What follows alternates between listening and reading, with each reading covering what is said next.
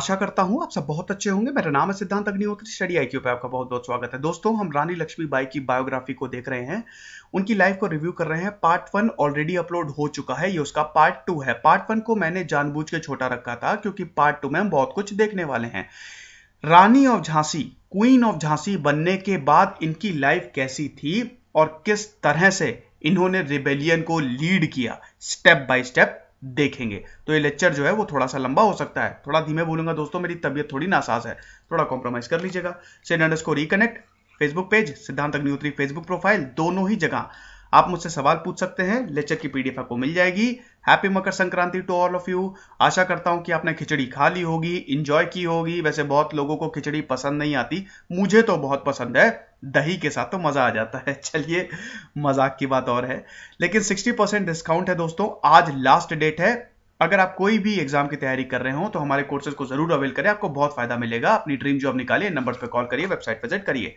दोस्तों, अभी तक हमने क्या देखा था? कि रानी ऑफ़ झांसी का जन्म 19 नवंबर 1828 या फिर 1835 में होता है। दोस्तों, ये कंट्रोवर्शियल है।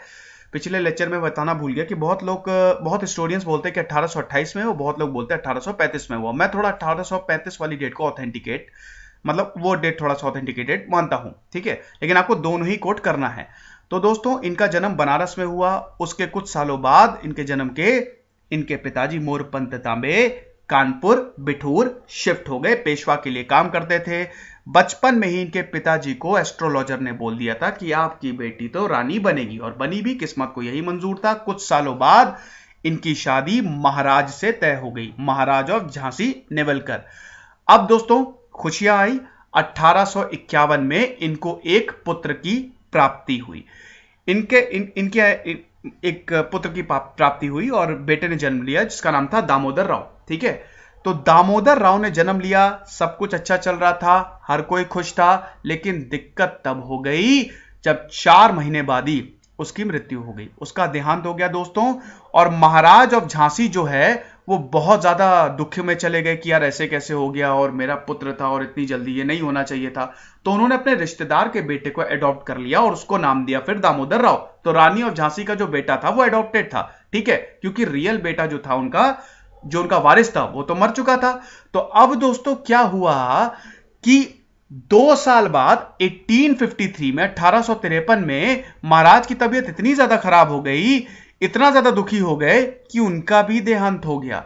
तो अब रानी ऑफ़ झांसी के ऊपर सारी ज़िम्मेदारी आ गई थी और अब सब कुछ इनको देखना था। तो दोस्तों बहुत ही एफिशिएंट एडमिनिस्ट्रेटर थी ये, और एक आई विटनेस बताते हैं कि किस तरह से इनका शेड्यूल रहता था। सुबह तीन बजे उठती थी, उसके बाद फिर ये कुछ टाइम तक मेडिटेशन मेडिटेट करती थी, ध्यान लगाती थी, आठ बजे तक सुबह ये ध्यान लगाती थी, उसके बाद तीन घंटे, अगले तीन घंटे ये बाकी के इंपॉर्टेंट काम करती थी। जैसे किस तरह से मिलिट्री ऑफ़िस को देखना है, उसका पूरा मुआयना, जो रिपोर्ट्स आती थी उसको देखना, उसके बाद पॉलिटिकल अफेयर्स फिर उसके बाद दोपहर तक ये काम खत्म होता था कुछ समय ये उन लोगों के लिए ये देती थी जो बहुत ही ज़्यादा जरूरतमंद होते थे।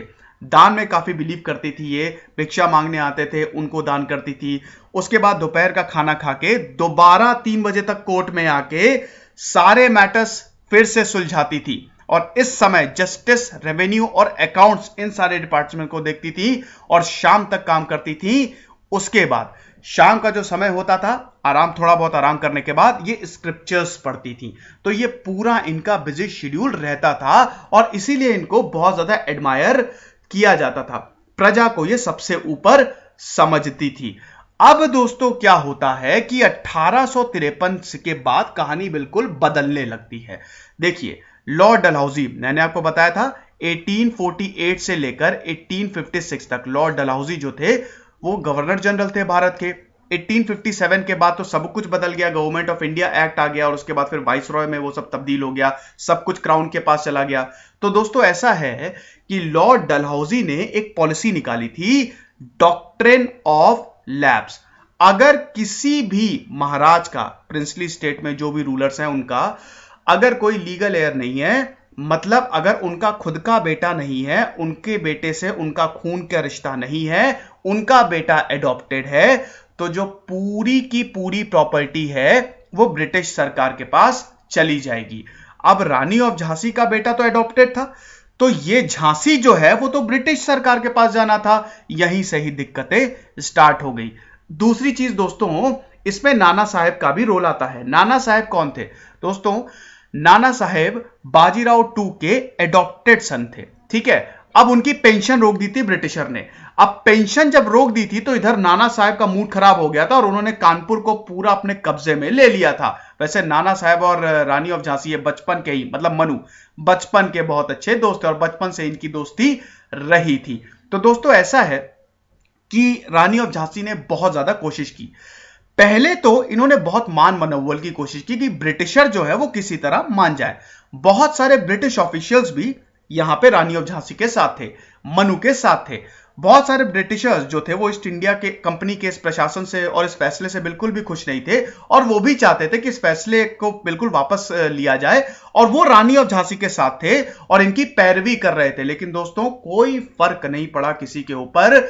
बहुत सारी कोशिशें की, लेकिन 16 मार्च 1854 में एक पत्र आया और उसमें यह लिखा हुआ था कि कुछ भी नहीं, आपके एडॉप्टेड सन को हम पूरी तरीके से हम नहीं मानते हैं सैंक्शन करते हैं, कुछ भी नहीं। हम झांसी को लेके रहेंगे। यहाँ पे रानी ऑफ़ झांसी जो है, वो बहुत ज़्यादा दुखी हुई, रोई भी, उनको धक्का लगा, क्योंकि अब उनकी झांसी जो है, उनसे दूर जा रही थी। और बहुत ज़्यादा दुखी हुई। अब उनकी तो दोस्तों ज़्यादा उम्र उस समय थी नहीं, ठीक है? वो उन्नीस साल की थी तो दिक्कतें बहुत ज़्यादा आ गई। कैसे हैंडल करेंगी? यहाँ पे रानी ऑफ़ झांसी ने अपने किले को छोड़ दिया। उनके एक ब्रिटिश फ्रेंड थे। उन्होंने सारी फॉर्मेलिटीज पूरी की मतलब जितने भी सोल्जर्स थे, सबको पैसा ऐसा दिया और जो भी था, ठीक है, और काफ़ी इमोशनल मूवमेंट था दोस्तों। और उसके बाद उन्होंने अपने किले को छोड़ दिया और उसके मतलब किले को छोड़ने के बाद वो तीन मंजिला एक हवेली थी, ठीक है, एक मॉडरेट हवेली थी ठीक ठाक रानी महल। वहाँ पे शिफ्ट हो गई अपने बेटे के साथ। अब यहाँ पे दोस्तों बेइज्जती का सिलसिला शुरू होता है। रानी ऑफ़ झांसी को बहुत ह्यूमिलिएट किया गया। मात्र पाँच हज़ार उनको, उनकी, मात्र पाँच हज़ार रुपए उनको पेंशन दी गई। यहाँ तक कि ज्वेलरीज तक उनको नहीं दी गई थी। वो भी बोला था कि ये सब कुछ हमारा है। ब्रिटिश सरकार इतना नीचे गिर गए थे। अगले तीन साल दोस्तों क्या हुआ? पुरजोर कोशिश की गई। इन्होंने लीगल प्रोसीजर भी अपनाने की कोशिश की दोस्तों। जॉन लैंग वकील थे, ठीक है? ऑस्ट्रेलिया के थे जॉन लैंग। और इन वकील को करने की रानी ऑफ़ झांसी ने कोशिश की कि जॉन लैंग बहुत ही एफिशिएंट वकील थे। इससे पहले भी वो ईस्ट इंडिया कंपनी के खिलाफ एक केस जीत चुके थे। और ब्रिटिशर के साम्राज्य को बहुत अच्छा मतलब बहुत ज़्यादा सपोर्ट नहीं करते थे जॉन लैंग। तो क्या है कि जॉन लैंग की मदद ली गई, लेकिन जॉन लैंग भी जॉन लैंग ने भी यही बोला कि ये जो आप कर रही हैं, ये फ्रूटलेस है। ठीक है, आप इसको छोड़ दीजिए। लेकिन रानी और झांसी ने हार नहीं मानी। दोस्तों जॉन लैंग के बारे में मैं थोड़ा बताना चाहूँगा। ये कहानी है, ठीक है, और बहुत सारे किताबों में ये लिखी हुई गई है। जॉन लैंग ने जॉन जॉन लैंग ने आँखों देखा वर्णन बताया है कि रानी ऑफ़ झांसी दिखती कैसी थी। ठीक है, पहली बात तो जब जॉन लैंग आगरा आए, भैया ऐसी आओ भगत की रानी ऑफ़ झांसी ने 50 से ज़्यादा घुड़सवार गए और इनको लेके आए पालकी में। पालकी के अंदर एक छोटा सा फ्रिज नहीं होता जो एक जो, जो बक्सा टाइप का होता है उसमें बर्फ़ होती है और उसमें बियर और पता नहीं क्या क्या फलाना ढमाका बहुत सारी चीज़ें थी। ऐसा लग रहा था कि भगवान आ गए क्योंकि John Lang Rani of Jhansi की आखिरी उम्मीद थी। तो उसके बाद इनको लाया गया। रानी महल में एक बगीचा है बहुत ही खूबसूरत। बगीचे के बीचों बीच शामियाना लगाया गया। जॉन लैंग बैठे हुए थे। वही रानी और झांसी की एंट्री होती है। तो जॉन लैंग बताते हैं कि वो मध्यम कद की तगड़ी महिला थी। उनका चेहरा बहुत गोल था और बड़ी खूबसूरत थी, बहुत गोरी थी। लेकिन हद से ज़्यादा उनका चेहरा गोल था। ज्वेलरी नहीं थी। उन्होंने कोई भी ज्वेलरी नहीं पहन रखी थी। उन्होंने खाली कानों में बुंदे पहन रखे थे। बस एक चीज़ जो है, वो उनके व्यक्तित्व को थोड़ा सा बिगाड़ती थी। उनकी फटी हुई आवाज़। ये जॉन लैंग ने बताया था। तो ये सब चीज़ें हुई, उसके बाद दोस्तों 1857 तक कोई खास तो नतीजा निकला नहीं। यहाँ पे ब्रिटिशर अब आके खड़े हो गए। अब, ये बात तो तब तक थी जब तक रानी ऑफ़ झांसी मणिकर्णिका ने बातचीत से मामला हल करने की कोशिश की, लेकिन अब दुर्गा का रूप सामने आने वाला था। दोस्तों, डूबते को तिनके का सहारा। अठारह की अठारह जो क्रांति हुई थी, उसकी शुरुआत हो जाती है। नेटिव इन्फेंट्री और अवध रेजिमेंट ये पूरी तरीके से बगावत कर देते हैं और आपको पता ही है कि 8 अप्रैल अठारह को मंगल पांडे को फांसी दी गई। उसके ठीक एक महीने बाद इन्फेंट्रीज के कुछ सोल्जर्स ने बगावत कर दी। नेटिव इन्फेंट्री और अवध रेजिमेंट कि हम तो नहीं करेंगे, जो कर लो करना है। और उसके बाद फिर ये आग ऐसी भड़की कि क्या बताएँ।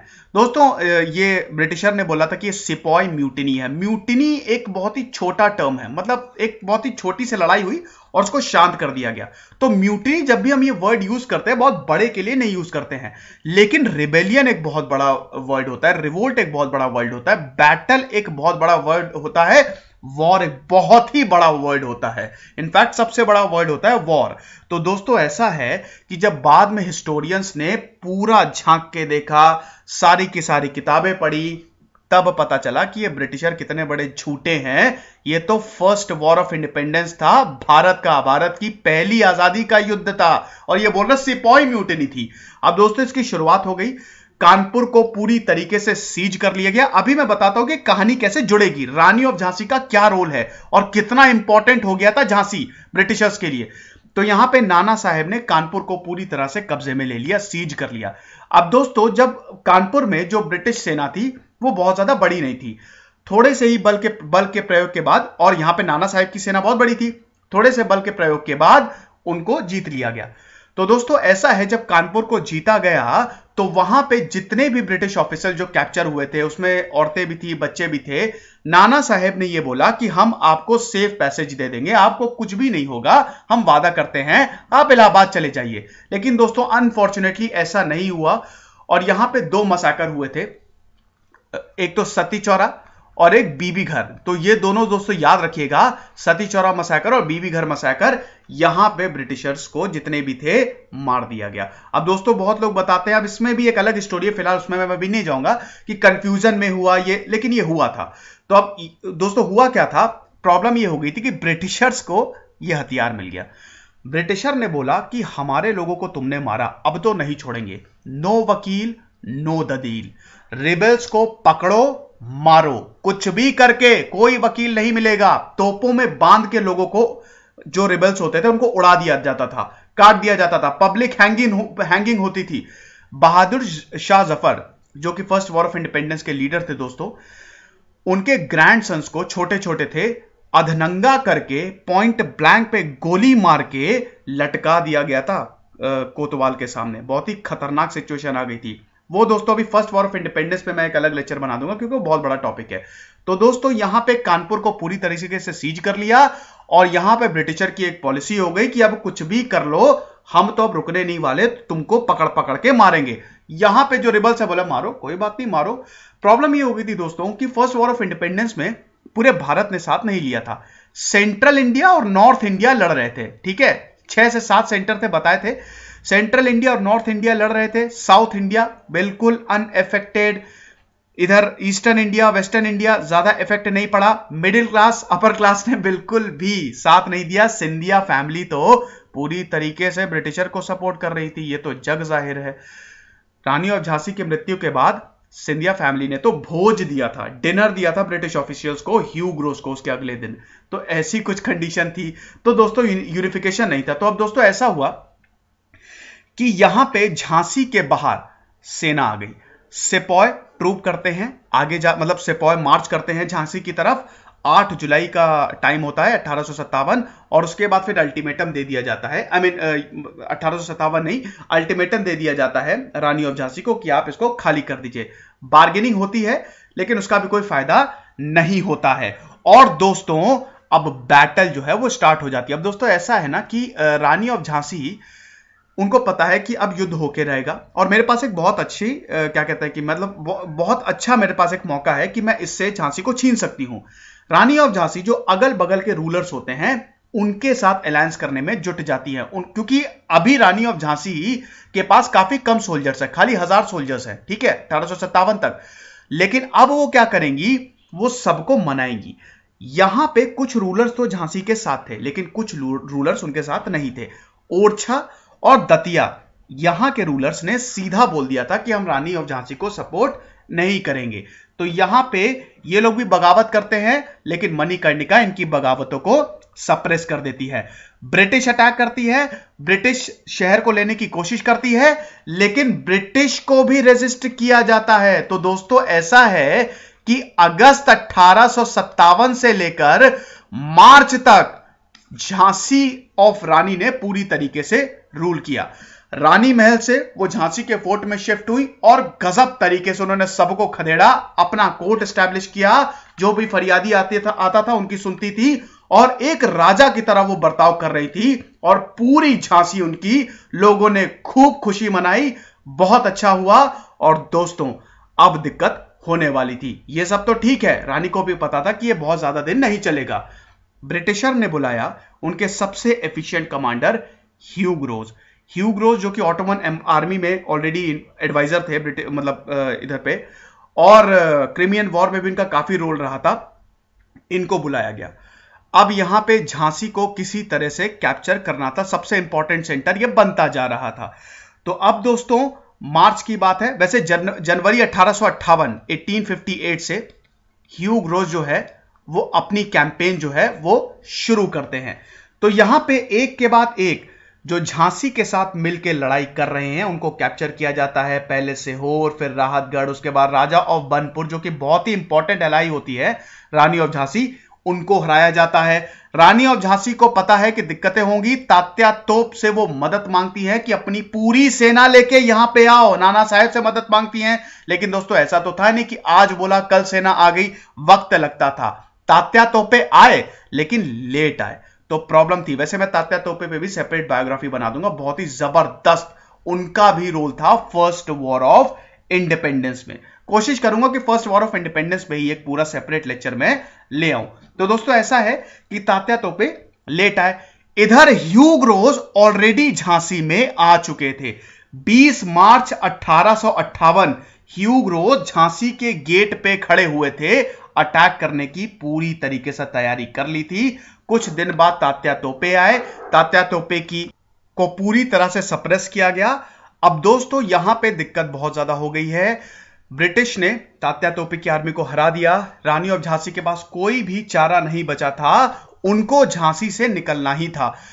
यहाँ पे जो सेनाएँ हैं, वो मार्च कर गई। ठीक है?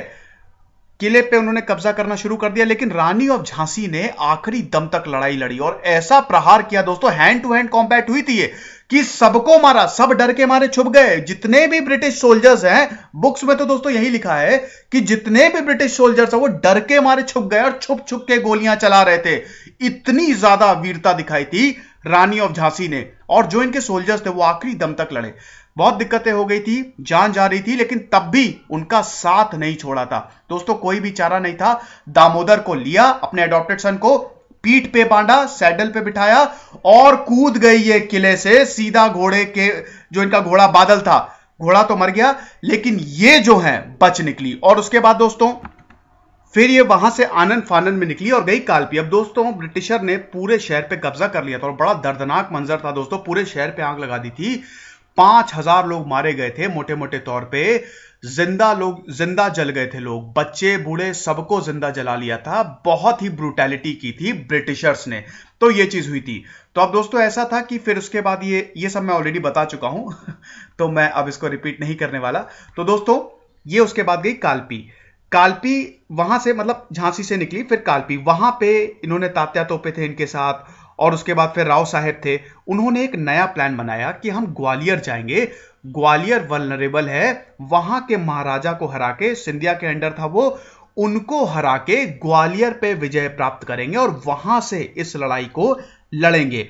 बिल्कुल सही था एग्जैक्टली exactly इन्होंने यही किया। ग्वालियर गए, जो भी बचे कुछ लोग थे, तात्या तोपे की फोर्सेस ने तो बहुत ज़्यादा लड़ाई की, लेकिन वो इतना कमाल नहीं दिखा पाए। और अब फिर अपनी 200 इन्फेंट्री कैवलरी के साथ रानी ऑफ़ झांसी आई, और सब कुछ एकदम काट पीट के उन्होंने ग्वालियर पे कब्जा कर लिया। तो ग्वालियर पे कब्जा कर लिया, ग्वालियर के जो महाराज थे, वो निकल गए आगरा, ब्रिटिशर से मिल गए। किसी भी तरीके से ग्वालियर से हराना था। अब यहाँ पे ह्यू ग्रोज ग्वालियर आते हैं और उसके बाद फिर जो अल्टीमेट बैटल होती है, जो लास्ट होता है, वो यहाँ पे होता है दोस्तों कोटी कोटा की सराय, ठीक है? सत्रह जून, फूल बाग ऑफ़ ग्वालियर, यहाँ पे आखिरी इनका कॉन्फ्रेंटेशन होता है। तो रानी ऑफ़ झांसी, अब दोस्तों कॉन्फ्रेंटेशन की क्या ज़बरदस्त स्टोरी है, मैं बताना चाहता हूँ। कैप्टन रॉड्रिक ने इनको लड़ते हुए देखा था, और कैप्टन रॉड्रिक इनके बारे में बताते हैं कि कितना ज़बरदस्त लड़ी थी ये दोस्तों। दोस्तों ऐसा था कि इन्होंने जो घोड़े के ऊपर थी ये, और रस्सी को इन्होंने दांतों से दबा के रखा हुआ था। दोनों हाथ में तलवार थी ताकि ये दोनों हाथों से लड़ सके। क्या ज़बरदस्त सीन रहा होगा, और भयंकर तरीके से वार कर रही थी। इनके एक वार से पूरा हाथ कट के गिर जा रहा था। दोस्तों, इनकी आर्मी कमाल कर रही थी, लेकिन उसी वक्त जब ये पूरी बैटल चल रही होती है तो ऊँट की एक टुकड़ी जो है, वो एंट्री लेती है। ह्यूग्रोज एक बहुत ही चालाक कमांडर था, और उसने ये रिज़र्व में रखी हुई थी। और ब्रिटिशर जो पूरी तरीके से डिमोरलाइज हो गए थे, अचानक उनमें जान आती है। उसके बाद दोस्तों, रानी लक्ष्मीबाई लड़ती हैं और फिर जब ये ऊँट की पूरी टुकड़ी एंट्री लेती है और फिर सोल्जर्स बहुत भयंकर तरीके से वार करते हैं, दोस्तों प्रॉब्लम ये थी कि जो फ़र्स्ट वॉर ऑफ़ इंडिपेंडेंस में जितने भी रूलर्स थे, एक तो उनमें कोई प्रॉपर कोऑर्डिनेशन था नहीं। दूसरी बात, वो लोग तलवारों से लड़ रहे थे। तलवारों से कहाँ लड़ाई होती है दोस्तों? इधर ब्रिटिशर्स के पास बड़े बड़े तोप खाने बंदूकें थी। तलवारों से कहाँ लड़ पाएँगे? तो सब, अब उनकी भी दिक्कत नहीं। कहाँ से मंगाते वो बंदूकें या फिर तोप खाने? हालाँकि रानी लक्ष्मीबाई ने पूरी कोशिश की थी। जब ये इन्होंने पूरा अठारह में झांसी को ले लिया था तो क्या हुआ था कि इन्होंने फैक्ट्रीज बना दी थी। वहाँ पे तोप खाने बनते थे तो कोशिश पूरी की थी, लेकिन वो दोस्तों उतना इफ़ेक्टिव साबित नहीं हुआ। तो दोस्तों, यहाँ पे रानी लक्ष्मीबाई लड़ती हैं, लेकिन फिर जब ये पूरी आर्मी फुल ऑन अटैक करती है, एक के बाद एक लोग मरने लगते हैं, और जो सेना है रानी की वो जो है, वो अपने आँखों के सामने देखती हैं, वो जाती है। उसके बाद फिर तुरंत रानी लक्ष्मीबाई बोलती हैं, अपने कुछ घुड़सवारों के साथ। वो वापस युद्ध से थोड़ा पीछे हटती हैं। लेकिन ये चीज़ देख लेते हैं ब्रिटिश के आर्मी सोल्जर्स। अब वो इनके पीछे लग जाते हैं। क्या है कि रानी लक्ष्मीबाई एक मील का इन्होंने रास्ता तय किया होगा अपने घोड़े के साथ। ब्रिटिशर्स ब्रिटिश सोल्जर से उनका सामना हो जाता है और यहाँ पे फिर हैंड टू हैंड कॉम्बैट होता है, जिसमें रानी लक्ष्मीबाई बुरी तरीके से घायल हो जाती है। उसके बाद वो जाती हैं, पास में एक मंदिर होता है, उस मंदिर में वो जाती हैं और उसके बाद वहाँ पे पंडित होता है, पंडित आता है, इनको गंगा जल देता है। बहुत ही बुरी हालत होती है दोस्तों रानी लक्ष्मीबाई की।